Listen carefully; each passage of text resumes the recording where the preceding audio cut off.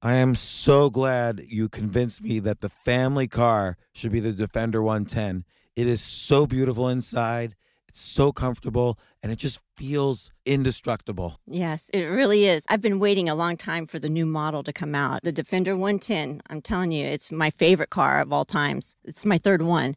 You know, I have stories of going off road. The guy managed the group. He was like, What are you doing in this beautiful car? I'm like, I'm going off road. He's like, Are you sure? Because you can use one of ours. And then they look like Mad Max cars. I'm like, No, no, no, no, we're going to do this. And he was shocked. Wow.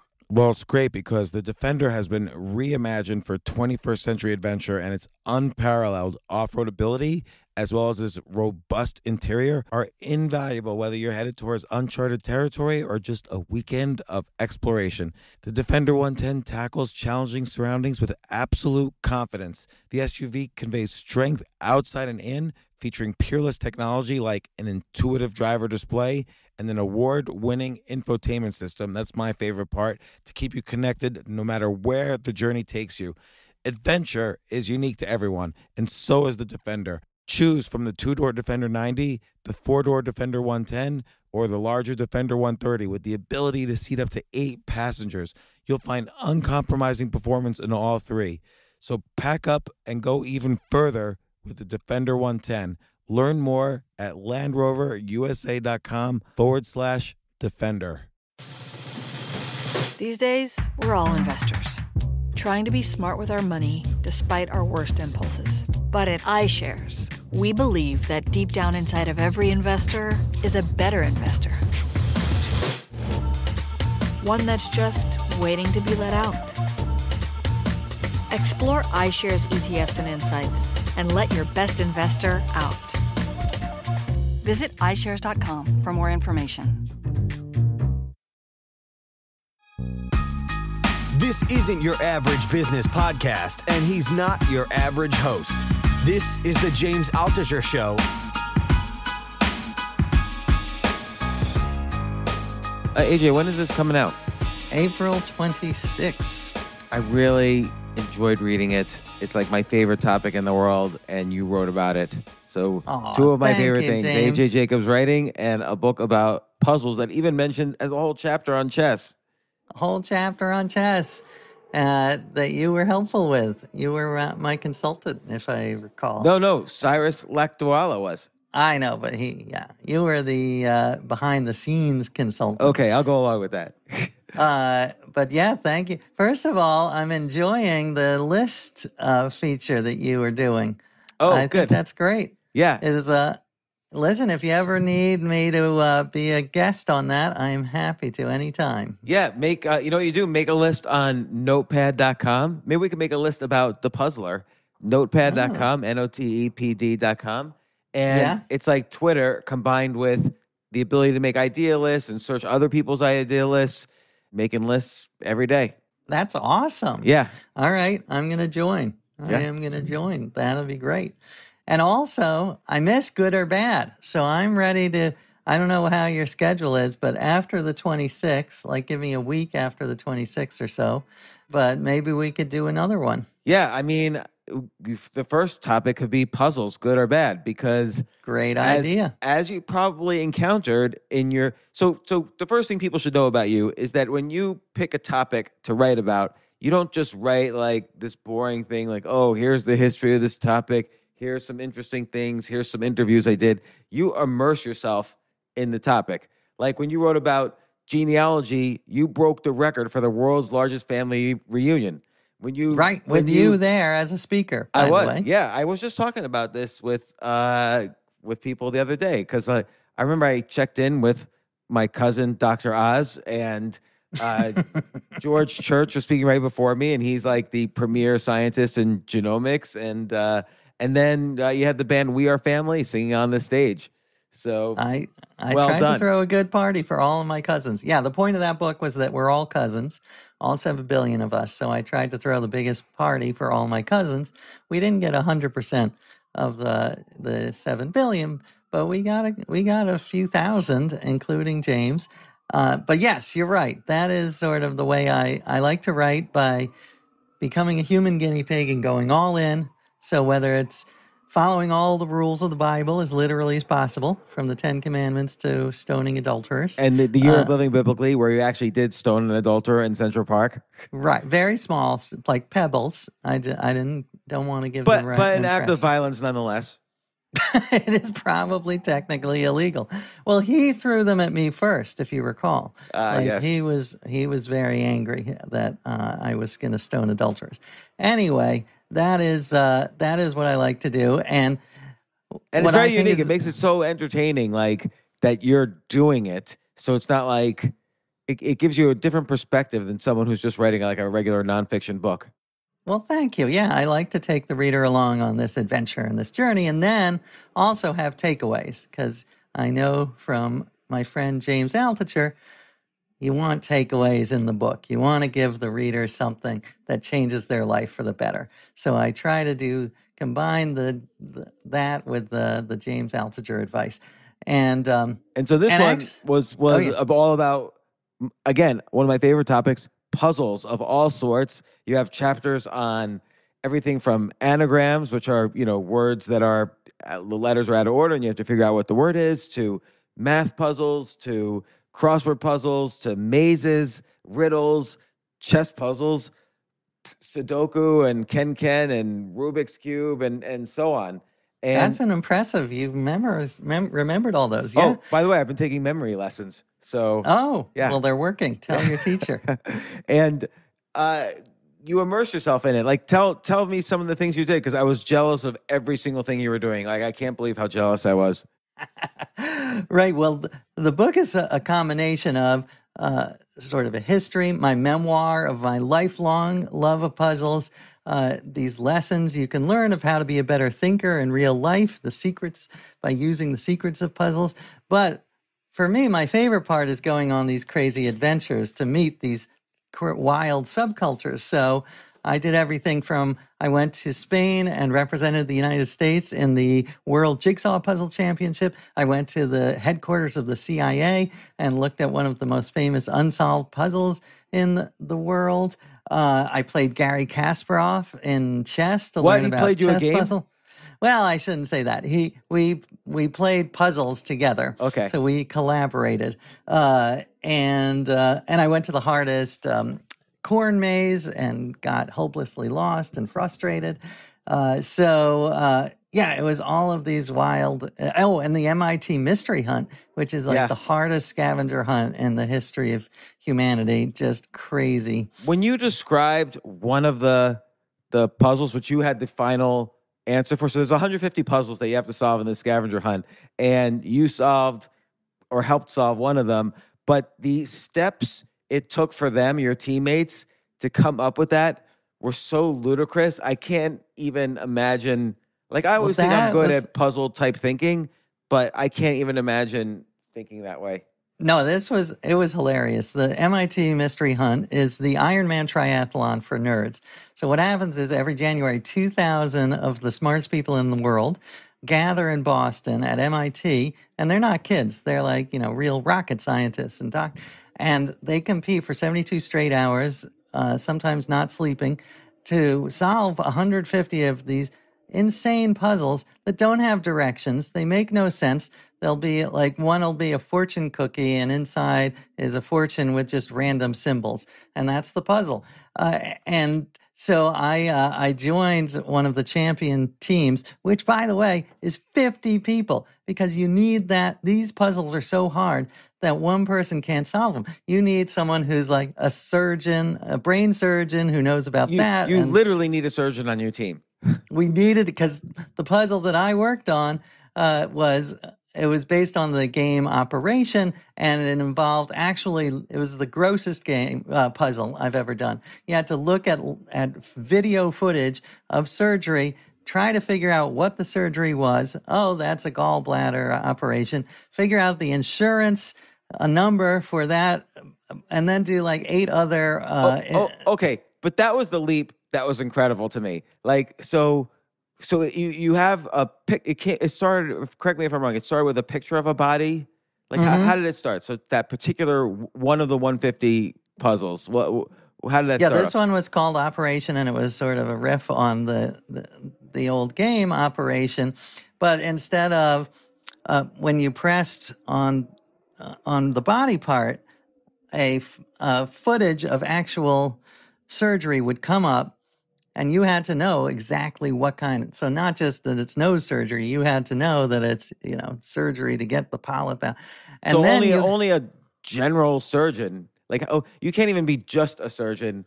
You have to be like Right. just recently graduated from medical school to know all those different types of surgeries all over the body. it's i think we had several surgeons on the team so that might have helped Uh, and and yeah and then you had to make this conceptual leap to figuring out that you had to use the insurance number. Now there was some sort of vague hint i can't remember exactly in the instructions where it gave some sort of hint but i would never have made that leap. And that's what i love the mental leaps. I think that's uh, and that's what you're good at. You talk about idea sex, where you take two different things, like you know, toasters and uh, and space travel, and then you you mate them, and it's a Ah, toaster in space. That's interesting Uh, because that's interesting because a lot of these, and I want to get back to this one riddle, like because it was amazing. But I mean, the one puzzle you solved, but a lot of the puzzles, if you think about it, are examples of idea sex, like two different, completely disparate notions or ideas or concepts that are combined together. Like that happens in crossword puzzles or these cryptics that you described. But okay, fin- finish the stru- so so they basically take every operation. For some reason, they find the insurance code for. They realize Right. they need to find the insurance code for what that operation is, and then what do they do with the insurance codes? You know what? I have I cannot even remember. There are like 14 different steps that you had to do. I don't know, some sort of quadratic equation with the insurance codes. And eventually every puzzle eventually solves to one word.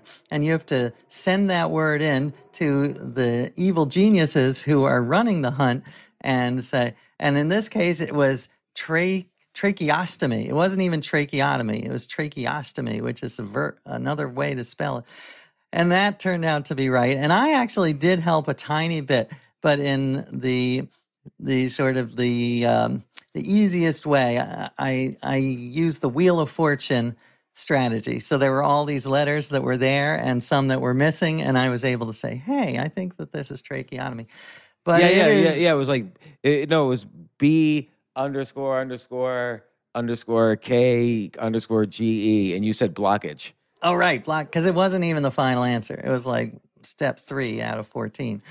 Uh, but I felt I contributed. That's a I, you know, contribution. like 0.1 percent. Your years of watching Wheel of Fortune paid off. That's it.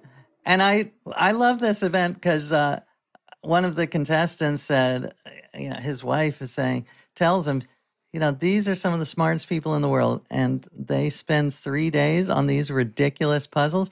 Why aren't they curing cancer? And he said, well, these are the people who are curing cancer. The other 360 days of two days of the year. These are their three days to get together and and I think practice their skills and become even better and more creative thinkers. That's one of the points of the book is that puzzles are great practice. They're not a waste of time. So, They so are- I, I want to talk about that because you can make many arguments about that. I mean, there's something primal about puzzles. People have been doing puzzles and riddles since the birth of our species. And and before that, before that, yeah. I'm sure. And and you even refer to like, I mean, there's some kind of like religious element. Like for instance, they're even like w- one of the earliest Sudoku like puzzles is are these magic squares where no matter you know it's a square like let's say 10 by 10 or 5 by 5 and no matter which way you add up rows or columns they all add up to the same number by the way diagonals as well i, I just wanted to ba- mention that because in the in the book i'm not sure you mentioned diagonals oh, really? but- Ah, I meant to. but uh, and then Benjamin, you, you show an example from Benjamin Franklin. He made this enormous magic square. I don't even know how he did Crazy. it, and because he loved puzzles. But you mentioned how like even in ancient Egypt, people would like wear these magic squares. Like there was almost like this religious element because a solved puzzle is is almost like a form of enlightenment or nirvana, like a mini enlightenment. Oh, I love that. I I I guess I touched on that, but I I love I loved your point that it does it does it informs religion. It's in every part of human life. That's what I learned. So religion, certainly war. There's tons of puzzles in war, you know, secret codes and yeah, ciphers. uh, cipher and romance. I loved there were these stories of in uh, the 1800s the people would their version of sexting was to send secret coded messages in the newspaper classifieds. Uh, so that was the way they communicated. Oh, yeah. So they would say like one was uh, I have the most beautiful horse in in the land, but not the beautiful most beautiful lady, and it's killing me. You know, signed GK, and uh, but it was coded uh, in this, and you had to decipher it, and uh, who knows whether he eventually hooked up, whether it was a successful pickup line. But I love that it's woven into every part of our lives, and I think what you said is the reason is because we're wired for it from this the dawn of history before history you know monkeys using a stick to get out termites that's solving a puzzle. To me puzzle is anything where you use creative thinking to achieve a goal. Uh, so i define it very broadly. Uh, and and this one i just learned after the book came out. So i don't i or after i finished writing the book that uh, slime molds solve puzzles. They solve they don't have a brain but they solve puzzles so they are good at mazes you put food at the end other side of a maze and a slime mold will solve the maze to get to it now, will it solve it perfectly, or will it make mistakes along the way and then back up and try other paths? i'm guessing it's more of a trial and error type thing that would be amazing if they have like some. right that would be good Well, well, it's interesting because I mean, there's even, I mean, there's so many different directions to go, but uh, you know, puzzles are almost like a safe way to practice these real world difficulties. Like, let's say, you know, forty thousand years ago, you're living in the jungle, you don't know, you know, which direction is the evil tribes that will kill you, which direction are the animals that will kill you, which plants and trees have poisonous fruit as opposed to food food that's safe to eat. So these are all puzzles that you have to figure out. Like if there's a rustling in the wind, what does it mean? Is it wind or is it the tribe coming to attack you? And it seems like developing puzzle thinking by solving actual puzzles is like practice for the real world. And so maybe that's why we get these like our brain cells, our dopamine rewards us for solving puzzles because it's going to help our survival. Like the better puzzle solver will, you know, his descendants or her descendants will live, while the not so good puzzle solver, their descendants won't live. Exactly. If you want to survive, if you want to, uh, right, puzzles will save your life. But I totally agree. And actually, Paul Bloom, who you probably had on the show, great. No. Uh, oh, he's a great psychologist. He was at Yale. Now he's at Toronto. But he he's one of the ones I interviewed. Why do we love puzzles so much? And it's exactly what you say. Eh, Puzzles are like play uh, for solving big life problems. And uh, and he says play is so important. You know that's why dogs, uh, young dogs, wrestle with each other because they're they're honing their skills. So when they get in an actual fight, they'll be good. So and it's like what you say. You know, you your vision informed a lot of this book because I love you always say that you spend 15 minutes every day, whatever it is, brainstorming new ideas. And you said, it doesn't matter if they're good, it's that you are using the brain as a muscle so that when you do confront a problem, and I think the one you used as an example was, you know, you have a flat tire and you don't have a, a, a jack, what do you do? And that will help you stay creative. And same with puzzles. That's what puzzles are. It's real true because you could read about, like, let's say you read an inspirational biography of somebody who inspires you and you see how they solve things. That's great, but it won't improve your ability to solve things. I, I realize that you have to actually do the thing that you're practicing to be better at. You can't just like reading how to be better at something will only get you like 1% of the way there or 2% of the way there. It's good clues, but it's not going to get you there. Like if I read about how to play better tennis, okay, maybe that'll give me some ideas when I play, but you have to actually play to get Right. better. And usually you have to play with- with a coach. Like when you do these, like the MIT puzzle, it, you're not playing with a coach, but you're playing with 50 people you're in, on your team who you're learning from. So that Right. helps as well. and they are very aware they have meta strategies that they think about. Like, here's how we're going to attack this problem. We're going to break it into these chunks, or we're going to do it reverse engineer it. We're going to, uh, uh, you know, turn it upside down. And that was one of the great lessons of this adventure is I could use like this one was in the book, so you might remember it, but there's uh, a guy in a cell 10 by 10 by 10 uh, and the floor is dirt. There's no there's no way out, no doors, except there is a skylight. So he starts digging, and he's digging and digging and digging. Uh, and what is he doing? Like why he knows he can't get out through the floor. It just keeps going down. So why is he digging? And if you remember, the answer is he is building a a, a hill because he's not just digging; he's doing the opposite he's building a mountain. So you got to look at this problem from the opposite. He's going to build a little hill and climb out through the skylight. Uh, and I use that type of thinking all the time, just reversing my thinking. Uh, I think it's it's how Henry Ford came up with the assembly line. You know, everything people stay in their place and the car moves instead of the opposite. It's how, I use it even when I'm doing laundry. The other day, I was picking up instead of bringing the lawn the laundry to the hamper, I realized I have laundry strewn all over my apartment because I have three young boys. I'm going to bring the hamper to the laundry and it, it will save me several trips. So that's just one example of creative thinking that puzzles have helped me. See, and and this kind of challenges your definition of a puzzle because yes, creative thinking is required, but and I'm talking about human-made puzzles right now. We'll get to other computer made puzzles in a sec and maybe we won't get to it. we'll see because but but there's something very specific about puzzles is that there's an artistry to them where just going through the steps to solve something won't solve a good puzzle so like if i have a math problem you could say every math problem is a puzzle like if i have to do 685 times 572 you can argue okay i've got to think creatively to solve this problem um, but that would be wrong. Like puzzles aren't like that. Puzzles require some extra twist that does give you that enlightenment. Like you mentioned, and I'm not going to focus on chess puzzles, I promise, but you mentioned in that chapter there there was a, a type of puzzle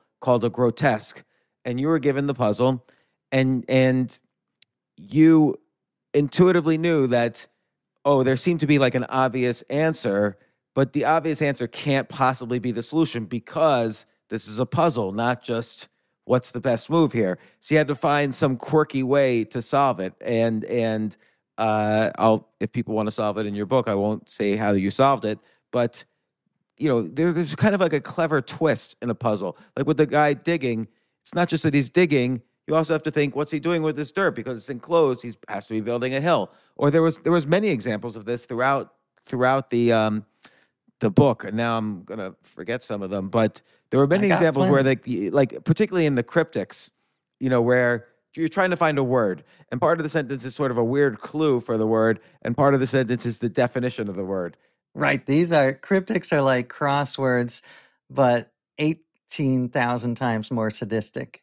Uh, and they are all. But yes, you're. I love that, and I'm totally agree. Puzzles require some level of ingenuity, a twist. That's that's at the heart of a great puzzle, and I think that that's at the heart of great ideas. The, you know that yes. is when you make a, a great leap. So, like the mRNA vaccine, that was instead of uh, you know that was like instead of tra- trying to recreate the entire um, protein, the entire virus, then let's just create a little part. And we know that that won't actually hurt us, but it'll still stimulate the immune system. So that's like totally a novel, twisty idea. And uh, that's what I love. But yeah, I, I am glad uh, that you liked the grotesque. Had you ever heard that that phrase, grotesque? I, no, I had never heard that phrase. You know, and I've been solving chess puzzles since I was a little kid, actually. But I agree with Garry Kasparov, who you mentioned in the book. He doesn't like the grotesques because they're not going to appear in real games. And I sort of agree with him, but they're still fun to solve. You know, Yeah. uh, well, they just make me laugh. I never thought I would laugh at a, an arrangement of chess pieces on a board, but a grotesque is all 16 black pieces arranged in crazy, like in a corner, and then two white pieces. And you have to do it so that the that white wins. Uh, but Garry was great. First of all, he insulted me. That's how he, he started. that's uh, that he, it, he he means well. well, he was. He said I, I. He came over to my apartment, and I had spent all day setting up, and I had the chessboard all ready in an arrangement. And he got there, and he said, "This is a very cheap chessboard." And I was like, "Oh," he's like, "Oh, so cheap plastic." And I was like, "I'm sorry, should I get another one?" And he's like, "No, I'm from the Soviet Union. I'm used to cheap chessboards." so I guess I dodged a bullet. Um, but he uh, he talks a lot. I like when he talks about the long game and doing. Sometimes you have to do surprising things like sacrifice a queen. That is short term crazy, like the dumbest thing you can do. But long term, sometimes it pays off. Yeah, I mean, like you could you could think about every game is a series of puzzles. Like you're you're in a move in a game, and the puzzle is what is the best move I should take. And I'm not just talking about chess. I'm talking about checkers. I'm talking about risk. I'm talking about monopoly. Like, given a set of choices, it's a puzzle. What what choice should I make? And it's hard. Like every every chess position is a is a puzzle of sorts. But and again, but there's a whole like people don't realize like people like Vladimir Nabokov, the famous writer of Lolita and other books, he was there was a title for it. He was a master of chess composition. He c- composed puzzles and and achieved like a master ranking at it. And it's a, it's, Yeah, a, it's an was- art form.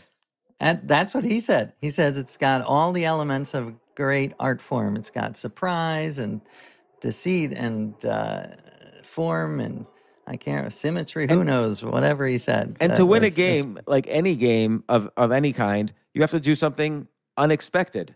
Like Mhm, if you to play tennis, to, to win a game of tennis, you have to hit the ball on the other side of the court that your opponent was expecting.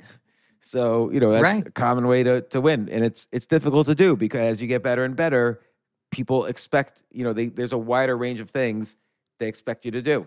Right. And uh And I think that is one definition of games is that it's two people pl- playing puzzles at the same time. And, You know, they each have their own puzzle, and the uh, opponent is part of the puzzle.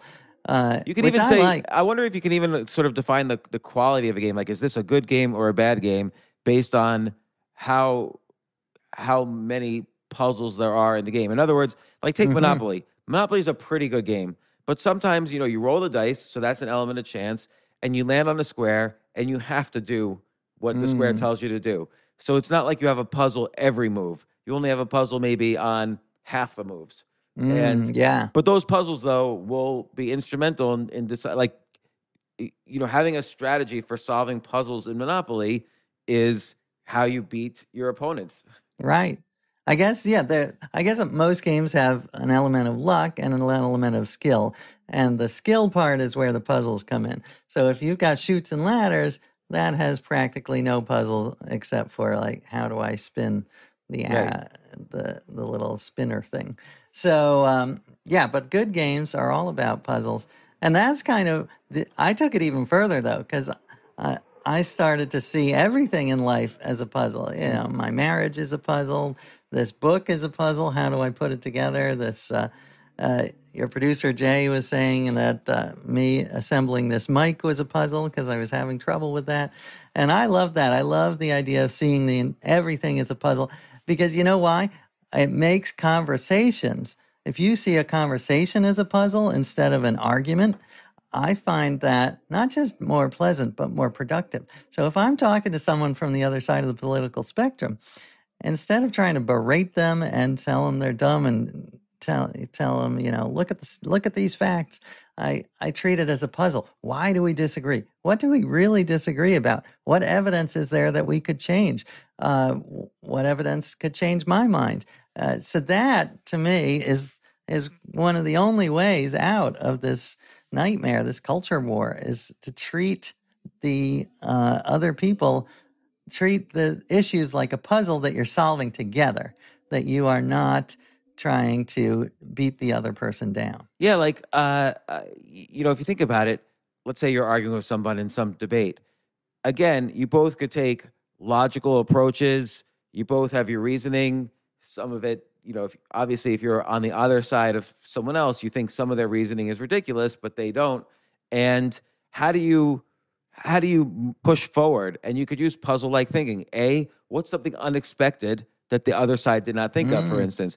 B, what's my end goal here? Is my end goal mm. to defeat this person so he changes his behavior or she and or is my end goal to be friends with this person in which case I might not fight as strongly or is my end goal to learn something or maybe just you know so in, in a puzzle you often think of like a jigsaw puzzle you think of what the final picture looks like and then you put the pieces together accordingly if you didn't have the final picture it would be much more difficult you know in chess you think of what does the final checkmate look like and how could it occur? And you work backwards from that and so on. So yeah puzzle like thinking could make you a more interesting conversationalist because you have to think of something different to bring up. Yeah i love that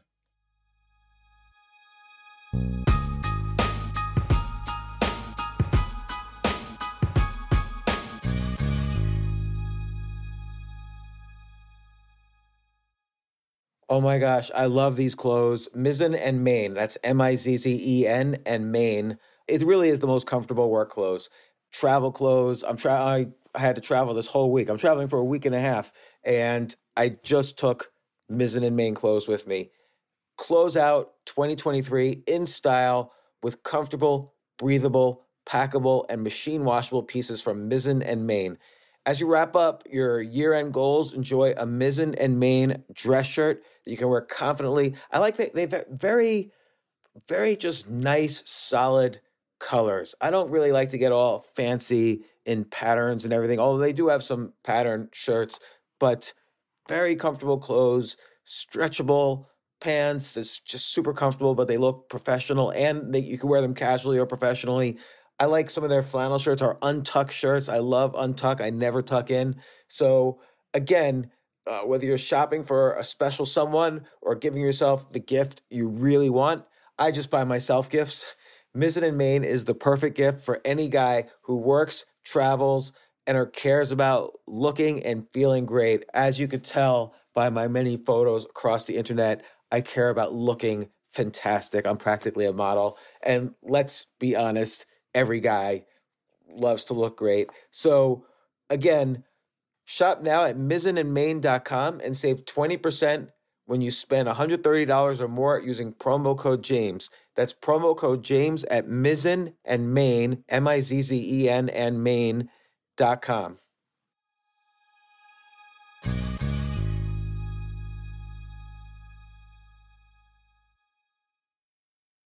You know what I love about fantasy sports is that even though I'm not going to be a great basketball player or a baseball player or a football player or whatever, I feel like I get to participate and make decisions and use my knowledge of these different leagues to or these different sports to to compete.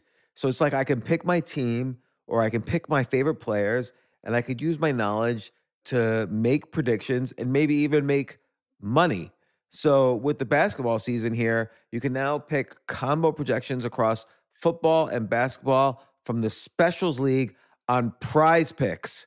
This is a league created specifically for combo projections that include two or more players from different sports or leagues.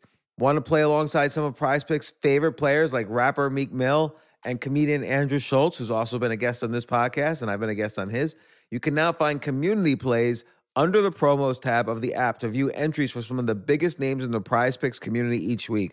Look, prize picks even offers a reboot policy so that your entries stay in play even if one of your players gets injured. For football and basketball games, if you have a player who exits the game in the first half and does not return in the second, that player is rebooted.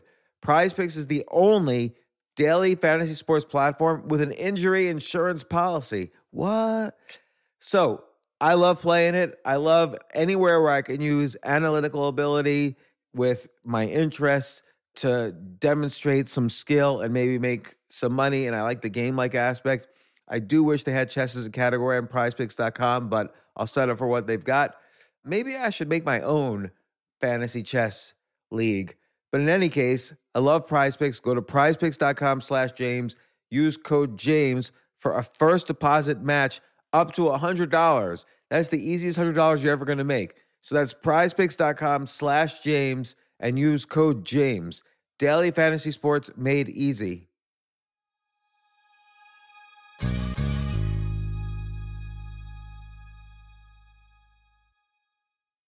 The future of learning is definitely online. Like it's such BS that you have to spend $200,000 or take $200,000 in loans and go to some fancy school when it's useless. It doesn't guarantee you a job. Most employers, including me, do not care about degrees or grades or anything like that. We want to care that you love what you're doing, that you know what you're doing, in some cases, that you have experience or that you're willing to learn. But people in general love learning and are curious. Like the key to success is curiosity. And I think masterclass.com is the perfect model for online learning. I'm really happy they're they're sponsoring uh, this episode. If you're going to give a gift, give the gift of learning. Masterclass makes a meaningful gift this season for you and anyone on your list because both of you can learn from the best to become your best, from leadership to effective communication to cooking. Let me tell you some of the classes I've taken. I've taken comedy from Steve Martin. I mean, can you believe I can take a class from Steve Martin on comedy or Judd Apatow, my favorite comedy director? I could take an actual class from him on writing. Wolfgang Puck on cooking, Dan Brown on writing, or Judy Blume, who's been on this podcast on writing. By the way, Wolfgang Puck also has been on this podcast. It's such a pleasure. I, I try to take classes all the time from masterclass.com. And whether you're watching Masterclass on TV or listening in audio mode in the app or on their site, the quality speaks for itself. It's like these masterclass instructors are your own personal mentors that are going to help you reach the next level. How much would it cost to take one on one classes on comedy from Steve Martin or on chess from Garry Kasparov. You just wouldn't be able to do it. But it would, I mean, it would cost hundreds of thousands of dollars. With a masterclass annual membership, it's $10 a month. Memberships start at $120 a year for unlimited access to one on one classes with all 180 plus masterclass instructors.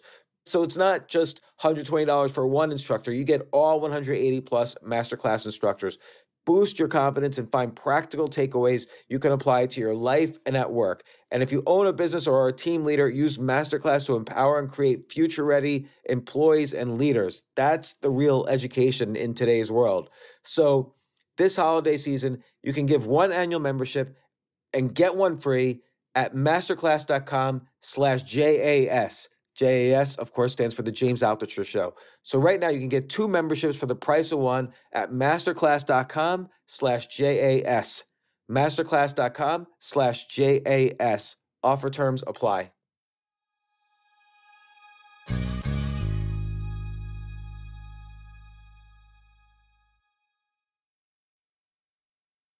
By the way, I love that idea of what is the goal and working backwards. That I used in tons of puzzles. And that is one of the big here, let me give you one. You might you might know this one. So Probably not. Uh, Go but for pretend you don't. Uh-huh. Pretend you don't. Well, you don't have to pretend. But it's a famous story of the mathematician Gauss, who was, uh, I think, in the 1600s, maybe 1700s, and he, um, his teacher, he was at school, and his teacher said, uh, "All right, everyone, the assignment is to add up all the numbers from one to a hundred. And uh, he he paused for maybe 10 seconds and then he raised his hand and he says, I got it. And the teacher's like, What? That's that's impossible. You're a liar. And he says, No, I got it. And what he did was he did a strategy that was unexpected but much more efficient and clean. So do you do you know what strategy he used? Yeah. Um because okay, I know the thinking process. So like let's say you're adding up the numbers from 1 to 100. It's going to be 99 plus 1 exactly. plus 98 plus 2. So it's 100 times well, 101 because you do 1 right. and 100. So it's 101, 99 plus 2. So right, so it's n times n plus 1 divided by 2, something like that. Exactly. So it's 50 couplets, each adding up to 101, which is 5,050, which is not that hard.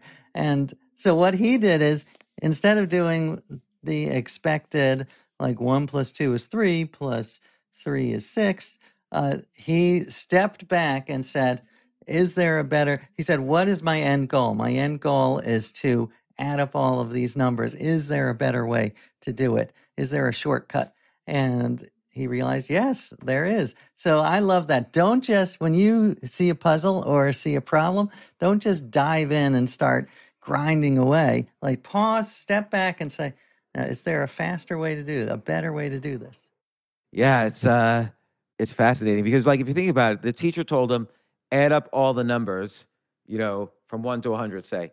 And if you follow that literally, it you do think, oh, of course, 1 plus 2 plus 3 and you kind of go in order, but he had the insight or or the kind of the practice to not always go in order or not take too literally uh, what people are saying, and you have to Right. you have to not take too literally things in order to solve puzzles. If you literally take the clues for a crossword puzzle, you would never solve a crossword puzzle. Yeah, a good crossword puzzle is a good crossword puzzle, and this is a big debate in the, the crossword community. But a good one is, to me, is not like what's this river in uh, in the Czech Republic, and someone is leaning on their horn. That is not a good solution to a problem. I don't think. Um, but they, uh, to me, uh, a good crossword clue is all about wordplay and and that's actually uh, Will Shortz, the New Yeah. York Times editor. If you ask him what is his favorite clue, it is a wordplay one. It is um, uh, something like uh, this turns into a different story. This turns into a different story. This And the into- answer that's, that's the clue. is- Hold, hold on, this turns into a different story. But see, these are really hard. Like I always have Yeah, trouble one- with these these Well, you know, this is a lot. I mean, it helps if I give you. It's two words. They both start with S, and they're kind of longish words. So think of another. What's another meaning of story? That's I, what you I was immediately. going to say like a skyscraper or something. yes, exactly. That's so the answer? what? Oh no, no, Okay. No, but that is the right meaning of the word story. So if something turns and you step into a new story on Oh, something oh, that uh, turns, Yeah, like and a it is staircase or something. yes, that's it. Oh, okay. But what kind of staircase? One that Spiral goes staircase. spiral staircase. You got it with no help at all. Well, I No did get help. I did get help. You, All you were you were little help. egging me on. You were you, you were you were giving me clues. Uh, yeah, no. I, I think with Will Shortz, w- since he became the editor of the New York Times crossword puzzle, it's been a lot less about trivia and how much you know about celebrities and literature, and more about uh, wordplay. Right. which, is- I, I really don't like. I really don't like crossword puzzles because I don't have. I don't want to know about all these cultural artifacts that you know the crossword puzzle creator makes. And some people love it. I I just don't. wait. So you don't like the the wordplay, or you don't like the trivia? I don't like the trivia. Oh A- yeah. and even no, a lot of the wordplay involves knowing things about the Mm, world. So I like right. puzzles that are self-contained. So Got it. like I don't have to know anything about the world to to play a Sudoku puzzle, for instance. Right. or, right. Right. or uh, or or to solve a maze or to solve a jigsaw puzzle. So whereas wordplay, even with simple wordplay, you kind of have to know uh, other things. Uh, Yeah, that's such a great point. And I will say, I have not been a fan of puns for most of my life. Mhm. But this year, I mean, puzzle people are so obsessed with puns. In fact, I went to a puzzle themed wedding where they had traded vows like, um, I can, can promise you that you will always amaze me. And it was like, oh. So it was a mixture of groan and like, aw. Uh, but here's why I gained a little respect for puns is because they remind us that the root of puns is that one word has multiple meanings. And to be aware of that when you're just reading the news is so important because otherwise you can be tricked into. So if someone is talking about freedom, you know, freedom means a hundred different things. So freedom could mean the free market, but freedom could also mean freedom from monopoly. Uh, and you know, if you have a total free market, it might end up in a monopoly. So you've got to be very careful, and and that's what puns help me. Just be wary of the English language. Uh, it's so interesting because, like, l- taking something serious again, and again, this idea that pu- getting good at puzzles is practice for real world things. Take the U.S. Constitution; it's one gigantic puzzle. Otherwise, we Mm. wouldn't have all this entire. We wouldn't have a Supreme Court that is constantly needed to correctly or incorrectly interpret the Constitution. Like that's their job is to basically take this wordplay that we call the Constitution and in, interpret it for modern times in a, Right. constantly. That's what they do all day, every day. That's a great one. Yeah. Uh, and what can I give you some of the more painful wordplay that I uh, yeah. that I, I came across? Well, this is the British crosswords are especially known for their painful wordplay. So, for instance, a clue might be just these letters G E G S, Gegs, G E G S. And uh, I don't know if you remember that from the book. I think I mentioned it in the book. I I, I don't remember that one. Well, that's good because then you'll have. I mean, for me, I spent again. It's all about changing perspective. So I spend all of my time like, what the hell is a gag? And I even Googled it. A gag is is that the only clue? G E G S. that's it. And the- and the answer well, is wait, two wait, words. Wait, what's the what, what's the what's the premise of the puzzle? Like, what are you supposed to figure out? Well, it's just a crossword. It's filling in spaces. So GEGS is a clue for the answer is two words. The first word is, I think, nine letters, and the f- second word is four letters. And that's all you know. Is and, that's and, all and you the got. GEGS is a clue. Is the only clue for two words. One is nine letters. One has four letters.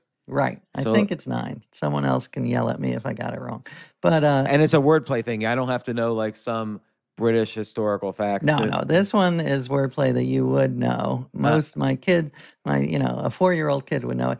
It is. Um, I won't tell you the answer, but the key is you can't. You got to get out of this gags. You know, gag was. I looked it up. It's the airport code for Portland. I was like, what the hell does that have to do with anything? But you have to totally abandon that way of thinking and just look at it from a whole new angle. And you realize, well, let's look at the gags.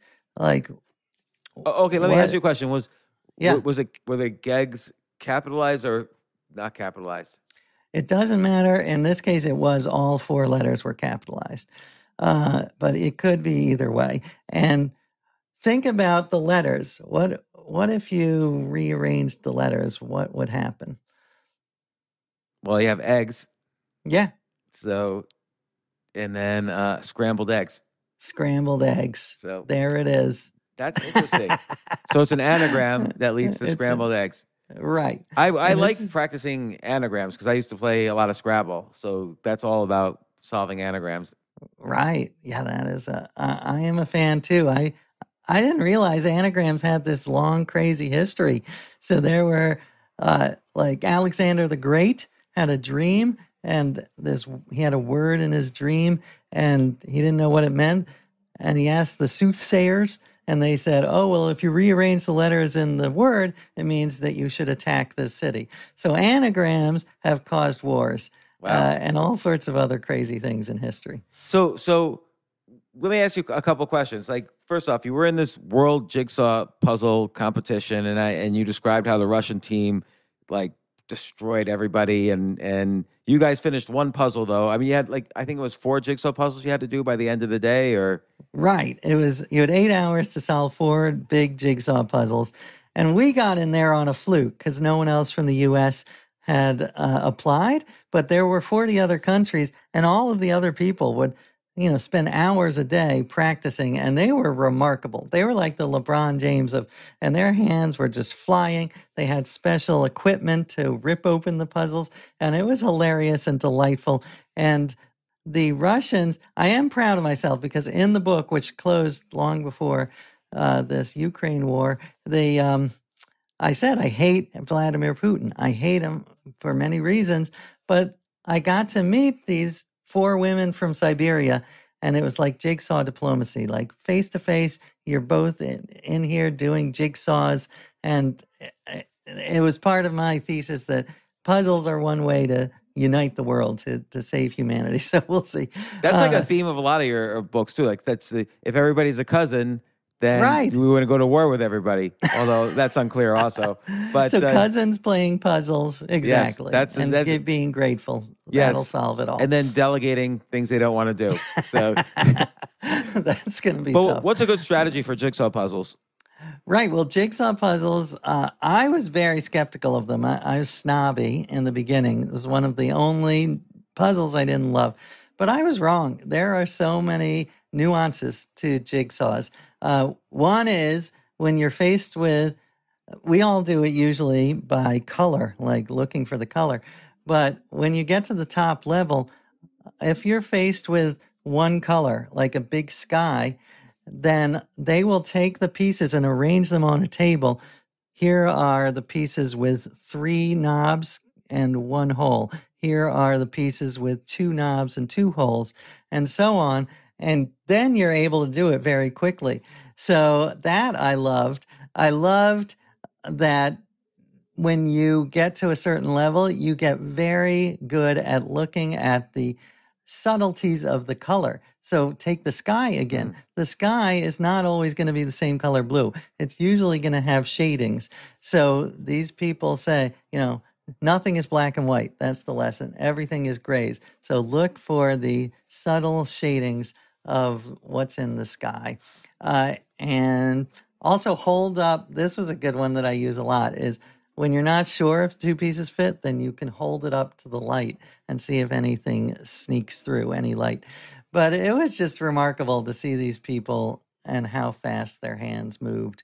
Uh, and uh, and they must just, be so good at recognizing, like you say, like all the different patterns and shades, and and also looking at two pieces and seeing right away that they fit together. Uh, right. So, and what what uh what what's a good what other strategies you learn did you learn? Like you mentioned a whole bunch of Sudoku strategies that I never heard of. Uh, and so, just what's a good Sudoku strategy? Well, yeah, they had the crazy names like the Flying X. I can't even remember them, but they're. I talked to one of the. I talked to several of the greatest Sudoku and Ken Ken players. By the way, are you Sudoku and Ken Ken, or do you take sides? I've never played Ken Ken, and but I oh. but after reading about it, I've heard about it, of course, and after reading about it in your book, I now wanna I wanna try it. But Sudoku, I've done for a long time. Well, it is funny because there are people in each group that are like they hate each other. They're like the Jets and the Sharks. Like Ken Ken people look down on Sudoku people, and vice versa. Uh, but, I tried that to take. But some. just from the way you describe it, I would probably look down on the Sudoku people, even though I'm a Sudoku person. Like Ken Ken was like Sudoku plus math. It like seemed a lot right. harder. It's got another element. Uh, well, Sudoku people have their other their their rebuttals to that. But I did. Um, I guess the strategy again, it's you you go you can take the normal route of trying to find um, what's missing, or then you look at what you have and see. So you take it from both sides. I didn't explain that very well, but uh, but it's in the book. And I what I what I loved about that chapter, if you might remember, is there's this debate in the uh, in the Sudoku and Kenken community about whether computers yeah. can create Sudokus as well as humans. And I love this debate because it's like sim- it's sort of a, a microcosm of are computers going to replace humans? Because the the the guy who invented Kenken, he says the computer generated Kenkens are soulless. They don't tell a story. He says, mine are a work of art. He literally says, they're like a Michelangelo. They have soul. They have, I'm an artist. They tell a story. They have heart. And when I look at this one generated by a computer, it m- means nothing to me. It's trash. Yeah, that, and I just that made me want to try. Yeah, that made me want to try Ken Ken because Sudoku. I don't think that's possible. I don't. I think human generated and computer generated is probably you can't tell the difference. But mm-hmm. is my guess. I don't know. I could be wrong.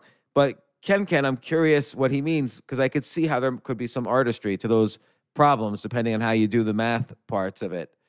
Yeah, and I I hope he's right. I hope he's right. I'm a little skeptical, uh, but I hope there's still room for humans. I mean, Garry Kasparov, when I brought this up to him, because uh, computers are, of course, better than humans at chess, but they're also can solve chess problems that we can't. Like their chess problems are are structured so that it's like mate in one means you have to move one piece and you'll mate the opponent. Mate in two is you move two pieces and you'll mate the opponent. There are problems where you have to move uh, 537 times to mate uh, black. And there's no way humans can do this. And Garry said he would he would he's watched machines solve these 537 mate problems and he has no idea what's going on for the first 400 moves. He's like, what the hell is the computer doing? And then it suddenly starts to make sense to him. Uh, so, but but he is optimistic. He says machines and humans will work together in the future. We're not going to be taken over, and he is a lot smarter than me. So I guess. Well, also, uh, I, I like his quote. He's the first knowledge worker to potentially be replaced by a computer because he was the first world chess champion to lose to a computer. And it kind of made people wonder like, is that the end of chess? But of course, it's just like saying, oh, a car means you don't have to race anymore. like you, marathon should be over now because we could just drive a marathon. But that's like that's silly. And and computers now are useful for training chess and for understanding strategies that humans previously. So it's improved the game because computers have introduced strategies that people previously thought were not so good, and it turns out they're better than people thought. But the problem is is that people cheat. And so, like, you could go to a tournament, and there's always a danger someone's cheating. how And- do they cheat? well, they might have, uh, you know, they're supposed to not do this, but they could potentially bring their phone into the bathroom and uh, you know check the Oh. computer and or um, or online. Cheating is rampant online. Like every day, if you play online a lot, then the next day you'll see, oh, one of your games that somebody cheated, and so you get rating points back. And Oh, and- but if it, but it's hard. You know, there's a lot of software to catch cheaters, but you can't make hundred percent perfect software. Uh, and if someone could make great software, that would make like millions of dollars, just because it's such a big problem. That is so interesting. Yeah, because there's I money mean, at stake. If you if in a lot of these online tournaments, you're playing for money. Even in poker, there's there's computers now are better than humans at poker, and so much poker is online. If you have computer assistance, that could be very you know it makes it unfair to people who just want to play the game. So right. so, but it is an interesting thing though about whether the artistry could be recreated. I mean, now there's computers that make musical compositions that people can't tell if this is a Mozart piece or not. So, you know, eventually that artistry will be there if they just learn I to know. do that. Well, I'm that's what I'm worried. I mean, are they gonna re- are they gonna have fun interview podcasts by a robot uh, that will replace the you know James Altucher? Okay, I'll, I'll three thousand. let's see. I will ask a question to an AI engine right now. That Oh, will, good idea. Okay, uh, let's see. I yeah. The question is the first. The puzzle here is what question can I ask this AI that will give me a good answer? So questions I should ask about puzzles. I love it. All right, this is good. Uh, or or let, let me see. Let me let me do what questions uh, should I ask about puzzles? So uh, and are you just doing? Is Google? Is that the robot? No. Uh, so again, this website I made to keep track of idea lists, notepd.com, allows AI to finish your. Uh, oh, Okay, so here's what the AI came up with. Okay, what I'm is the- excited. what is the objective of a puzzle? Great question, AI. Yeah. You are super. good. can you kick out James because we don't need him anymore? Uh, Let's, Oh, but, then, but then it asks also questions like, what are the rules of the? So it thinks I'm talking about one puzzle.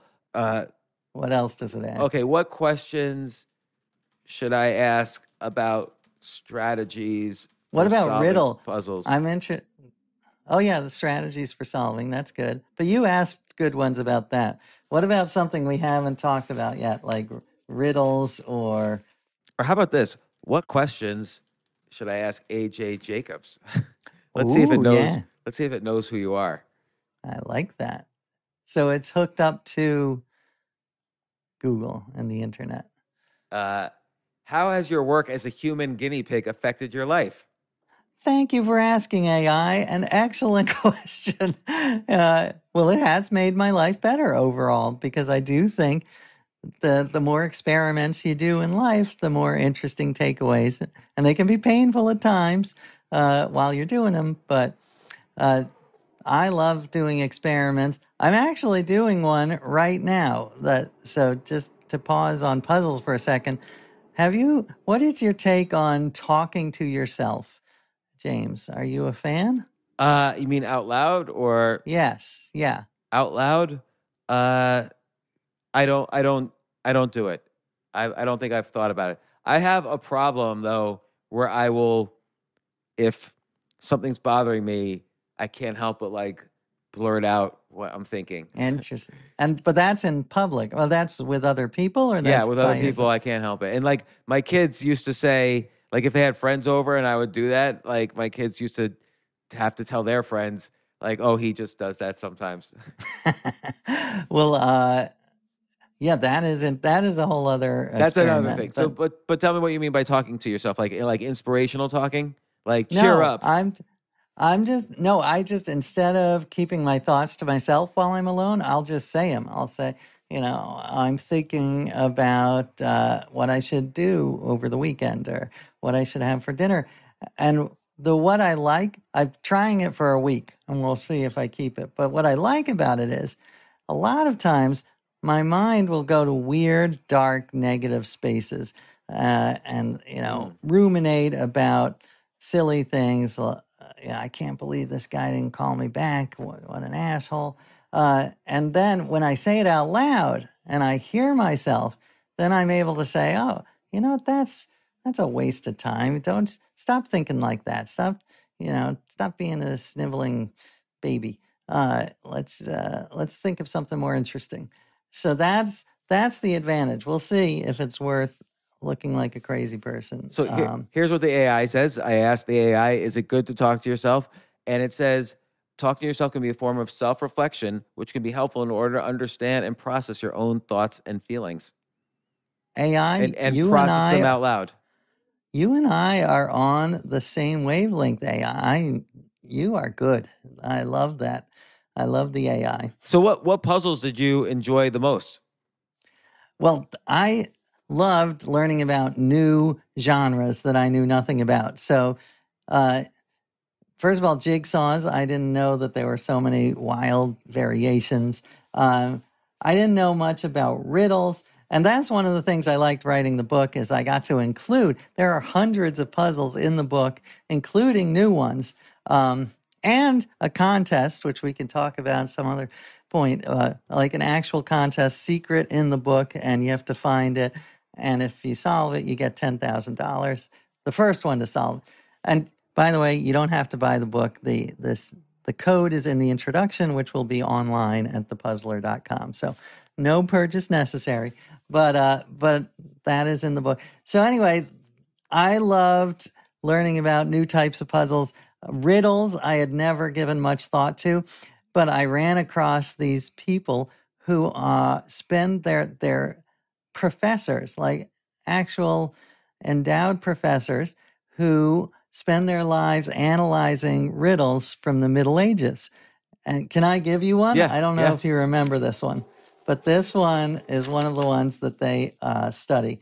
Because what's interesting is these were written in 1100 by monks. But the twist is some of them are very, very naughty, like just super dirty. So, you know, it's still uh, still PG 13. But let me just tell you here's the riddle What am I? My stem is erect. I stand up in bed, hairy down below. An attractive peasant's daughter grips me, plunders my head, and feels my encounter. This woman with braided hair gets her eye wet. So, what am I? I mean, there's all sorts of like dirty things it could be, I guess. Right. Yes, but get your mind out of the gutter. I mean, that's the beauty of it. It is not a dirty answer because the the monks wanted to trick you. They wanted to Yeah. say, "Oh." Uh, so the answer is, I'll give you one hint. Yeah. The end it says her eye. So when you're dealing with this thing, you your eye is wet, so you, you're crying. You're crying when you're dealing with this, and it's. Uh, But hair down below. Well, it's not. Te- I mean, it's metaphorical hair, so it's like, you know, the stringy part of a certain vegetable that uh, Oh, makes you oh, I don't know. Tell makes me. you cry. Tell me the what answer. vegetable? What vegetable makes Oh, you an cry? onion. It's an onion. You got it with no hints whatsoever. No, but yeah, you can see a million hints. Uh, But uh, I know I didn't know an onion had hair down below.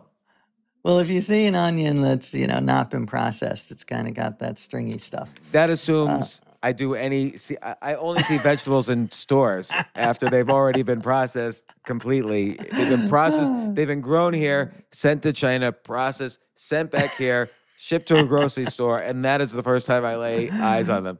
So you're not a medieval monk. Okay, that is good to know. You know, you said something in the beginning when you were talking about the MIT puzzles. That the, the question arose, which is if these people are so smart, why are they wasting their time doing puzzles? And I think a lot about this because it seems like there are some activities where you're allowed to ask that question. Meaning, let's say let's say you meet someone who all day long that's what they do. They do puzzles. Will Shortz all day long. He does puzzles and thinks about puzzles. So, you know, for some reason, it's acceptable to ask someone who who does puzzles, uh, why are you doing this when you could? It's just something kids do or whatever people say. But like, then nobody asked this of like, you know, the marketing manager for Crest toothpaste. Like, oh, if you're so smart, like, why are you just doing marketing for Crest toothpaste? Like, I guess because a paycheck sort of is a is a considered a valid reason. Like if you get a weekly paycheck or whatever, a regular paycheck, it's considered a valid reason to do something. Whereas puzzles, maybe someone is, is not making as much money as they could be because they love spending 20 hours a week doing puzzles. And I, I think about this a lot because lately I've been playing chess a lot. And of course, you ask the question like, oh, isn't that just a game? Like, why are you doing that?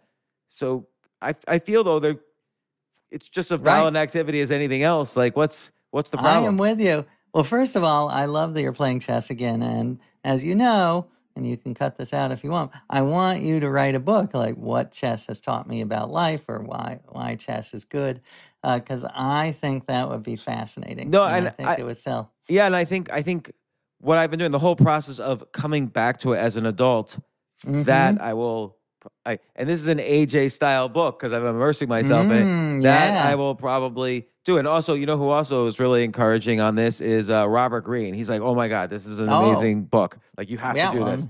So, and he sold like you know millions more than me, so he knows what he's I, talking I don't know. About. You've you've sold millions. You've sold your well, millions. You're nice.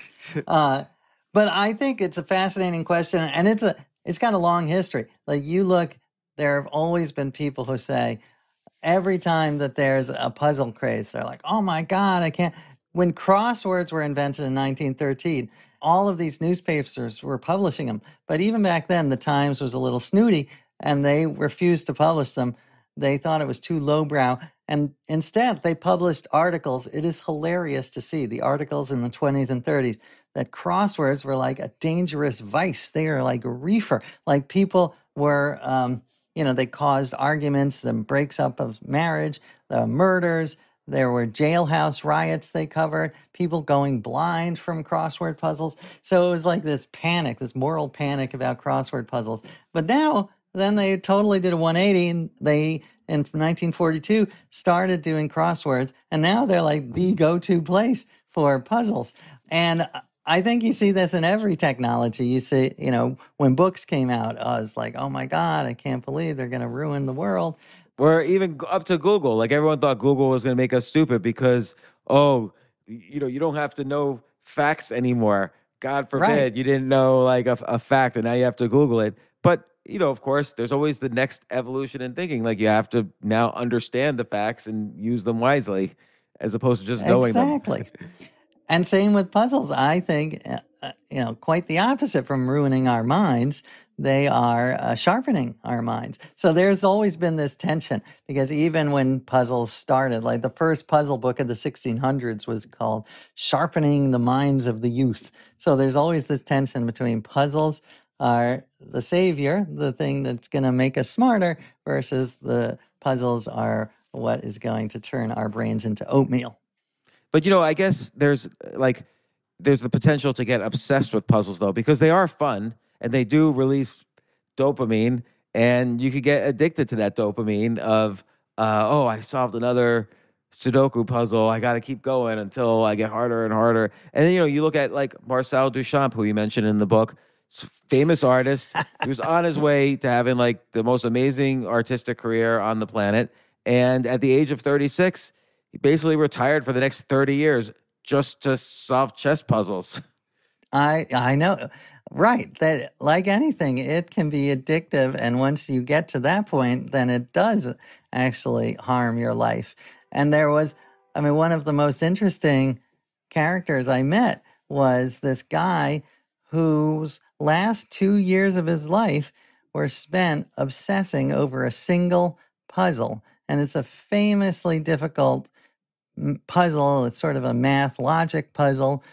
It's sort of like the uh, Monty Hall puzzle, which you probably know. Yeah. Where, um, uh, but it's like a thousand times harder and more complex, and it has it has spawned 100 actual philosophy papers uh, that in real philosophy with, and it's called the Sleeping Beauty problem. I'm not going to give it because it's too too weird and complicated. But if you Google sleeping beauty problem, just promise me you won't spend two years. Because this guy, he spent two years, he said he was staring at the wall for eight hours a day thinking about it. And his wife was freaking out saying, you know, this is not good for you. It's it's uh, all, that problem actually is almost worthy of an entire podcast because I am a hundred percent a halfer and I know you're a thirder. You're a halfer. I'm a oh, halfer. Oh, wow. And you I'm know, interested. You know why? And I'll just people should Google this problem, but uh, so I won't take more than a minute on this. But tell me if you disagree. As opposed to the Monty Hall problem, where in the middle of the problem, new information is given, which changes the answer. There's no new information given in the Sleeping Beauty problem, so the odds remain the same as at the beginning of the problem. That is the perfect halfer argument and I still don't buy it. I still don't buy it because if you are told at the beginning of the problem all of the parameters, then I still do think you would be a thirder. But listen, this is way over my head. I mean, these are people who uh, spend their lives, they're professional mathematicians, and they still argue about it. So you could be right. I don't know. Oh, oh I guess I could see the third side, which is that um, if she's asked what day it is, mm-hmm. then it's a much more complicated problem. And that's yeah. related to the odds. Like, then it's not so clear that the, that she should treat it like a 50-50 situation.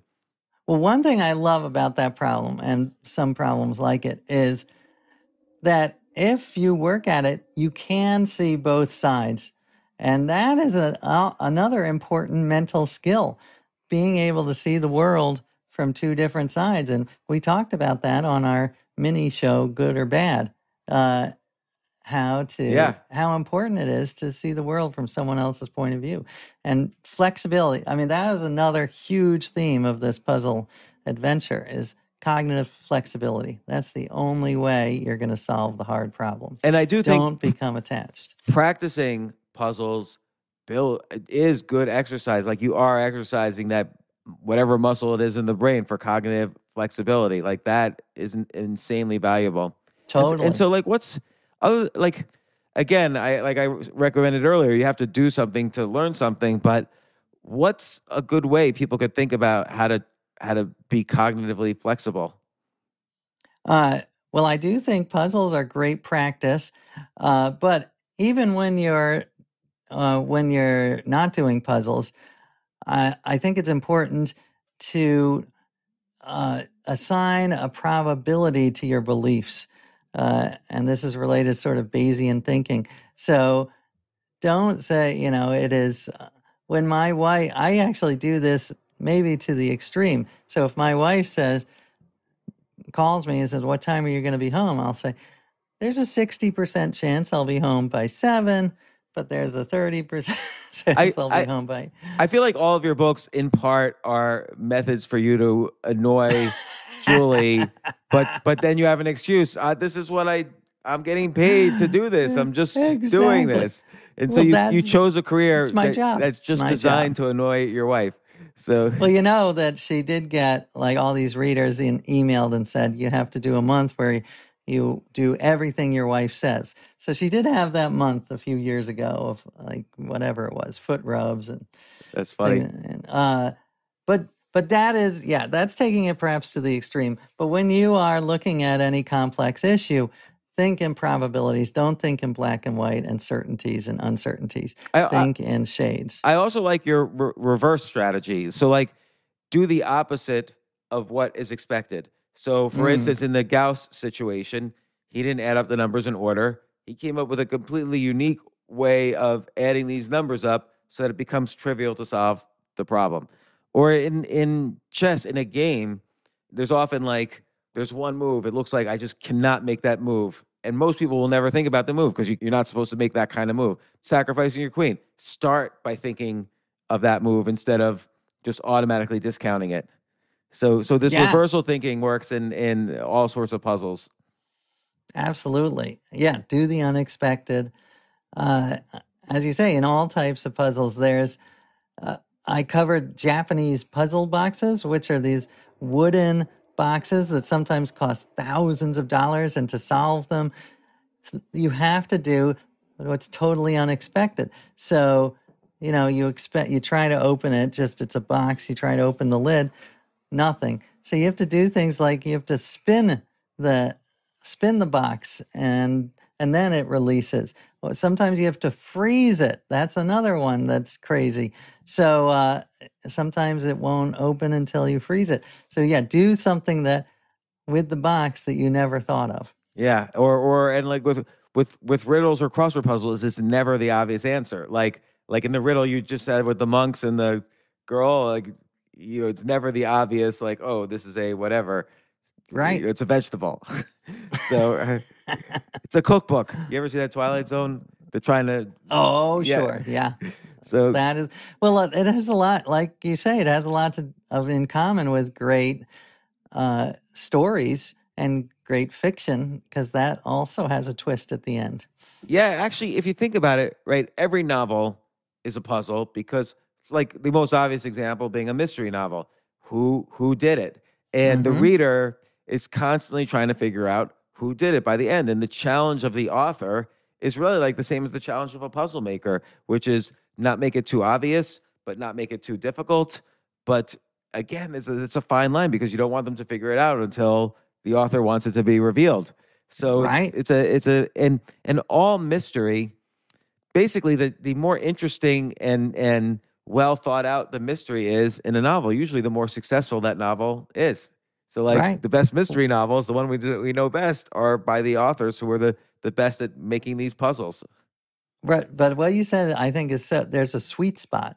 And the guy who made the puzzles for this book, because they're 20 original puzzles, very hard, very interesting. Um, he said the easiest thing in the world is to make a puzzle that's impossible, that no one can solve. Uh, and it's also pretty easy to make a, a totally simple puzzle.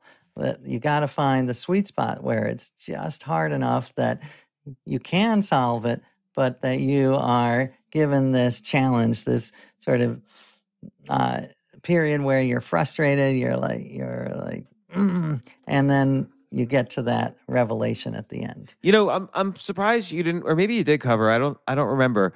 Uh, you know, like Google interview questions. Like Google kind of mastered the art of Mhm. asking puzzles as questions, and, and Yes. they don't always expect the potential employees to have the right answers, but they want to see the thinking process. Right. Well, I did actually, it's not a, a major part, but I did talk about and give an example of Fermi problems, which is uh, sort of the official name for a lot of the Google interview type questions, where they ask, How many piano tuners are there in Chicago? Oh yeah, yeah, right, okay. And, uh, and the way to solve those is a very important tool for all types of thinking, which is if you if you just take a wild guess, like you know, twenty eight thousand, then it's going to be off by orders of magnitude, most likely. So the best way to do it is to break it down into small chunks. How many people live in Chicago? How many people on average? What percentage of people on average have pianos? How often do pianos need to be tuned? How many pianos can a piano tuner tune in one day? And then, even if you're off on each of those guesses, the end is going to be closer than just a random guess. Well, this reminds me of a famous podcast we did, I believe, in 2015, where uh, and you you would, uh, it was based on a Facebook post you did, which went insanely viral, and and it was basically Ann Coulter. You were watching some show. You were you're obsessed with Ann Coulter, and you're watching her on TV, and she said something was said relating to Israel, and she said, "Well, how many effing Jews are there anyway? And she used the full word for effing. And and you said, well, let's figure this out. How many Jews are having sex right now around the world? And you you used that exact technique and did this Facebook post, and it got like a million shares, and we did a podcast about it. That is so funny. I totally forgotten that that is a Fermi problem. Yeah. Yes. How many Jews are having sexual intercourse at, uh, at any given moment? Yeah. That is so funny. So so look, AJ, uh, this is I really enjoy this book because a it has all the AJ components of you sort of putting yourself in these crazy situations, and then things happen. You're like, I, I don't want to use the word nerdy because it's not that, but you're like, I am a proud nerd. I'm okay with that. but it's like a, okay, it's like a nerdy version of what Hunter S. Thompson does. So like Hunter S. Thompson will like load up on drugs, every drug possible, and then go to the Democratic National Convention and things happen. you take yourself and your quirky personality. You don't need any drugs. You take your quirky personality and go to the MIT puzzle solving competition, or you represent the U.S. in the jigsaw puzzle competition, and, and on and on. And it's such a it's such a great genre that you've mastered. That you're you're the only person, and you're you you've uniquely mastered it. And it's always enjoyable to read your stories, but there's so much to learn. You always pack it in with so much knowledge which which what's clever about that is you give people many ways to like a story or like a book so they might maybe they like it maybe they're not interested in genealogy but they want to see how you found you know the, did the world's largest family reunion and how you found all your cousins or you know or maybe they don't care about your story at all and they want to read all about the history of all these different puzzles and strategies for doing these puzzles and interviews with the people who are the world champions of these puzzles and so there's multiple ways for people to like your your books you are better at explaining my books than I am. well Thank I, I always try to break That down is- your your approach Yeah. Well, I listen. I can't wait for the James Altucher chess book. But in the meantime, yes, please, uh, if you're interested, buy the Puzzler, or you can read the intro, uh, which I uh, contains the secret code on the thepuzzlerbook.com. and And, I hope it's the intro is en- enough to make you want to actually buy the book. and, and win ten thousand dollars in the process potentially Right. when are- are you going to announce a winner at some point or uh or is it just the first person who solves the puzzle It is the first person who solves the pu- well. What happens is in the intro, the um, you you have to figure out there's a passcode. There's a a phrase that will be revealed in the introduction, and it's hidden. It's secret. But once you do that, then you actually have to put that passcode into a box in the puzzlerbook.com, and that is your passcode to a a whole forest of crazy creative puzzles that I did not make that my friends from the MIT Mystery Hunt made. And they are hard but they are fun and weird and fascinating. And the first one to finish all of those puzzles there are over 20 of them so you have to work for your money. Then that person gets the 10,000 This, is this is great. Such a great idea for a book too. Well, uh, good luck. We'll we'll do, we should do a good or bad about puzzles as well in our good or bad psyched. series.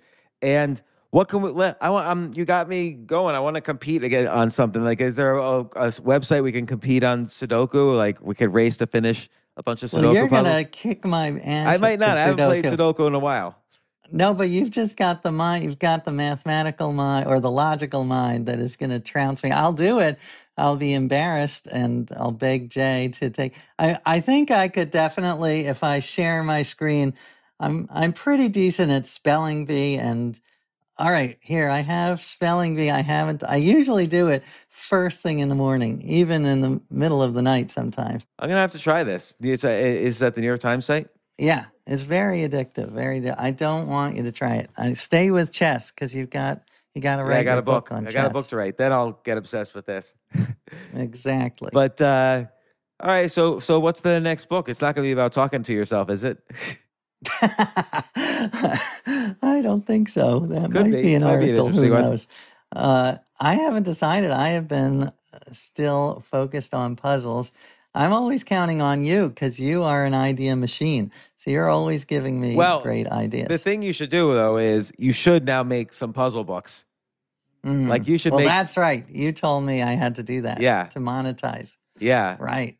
and that's like a no-brainer because Will Shortz has written over 500 books of crossword puzzles and Sudoku, and those are probably computer generated. Some of them. Right. So exactly. and now you're gonna have a brand name in the puzzle space.